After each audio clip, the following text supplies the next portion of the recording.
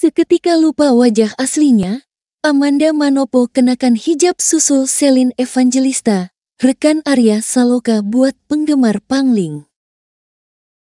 Sejumlah artis non-Islam turut merayakan akan hadirnya momen Ramadan 2024 ini, bukan cuma dimeriahkan oleh para artis yang beragama Islam saja.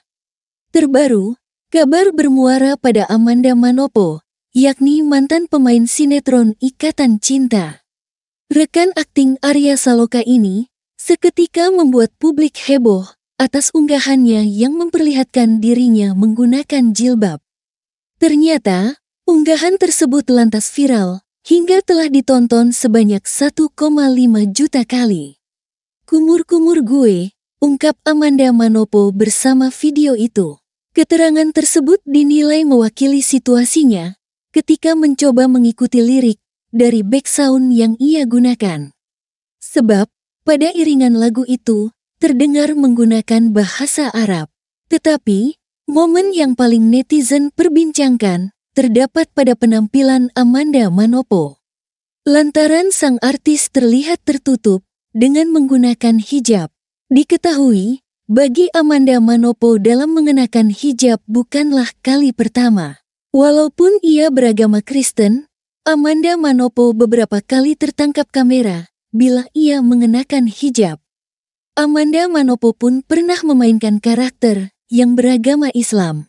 Tidak heran bila ada sejumlah netizen yang mengira bahwa dirinya beragama Islam.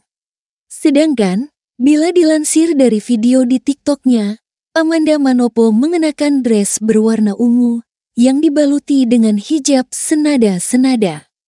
Hal tersebut menjadi debutnya dalam menggunakan hijab pasca melakukan diet, sontak saja wajahnya malah jadi omongan. Seketika gue lupa wajah asli Amanda Manopo, ucap netizen.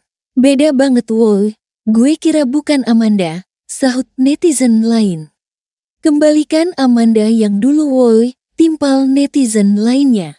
Hebohnya video Amanda Manopo yang tengah menggunakan hijab ini seperi sama dengan keputusan Selin Evangelista. Mantan istri Stefan tersebut pun sempat jadi omongan sebab menggunakan hijab selama Ramadan 2024. Bahkan, beredar rumor terkait Selin yang dinilai sudah mualaf. Berbeda halnya dengan Amanda Manopo yang tak diduga mualaf, tetapi didoakan memilih jalan yang sama.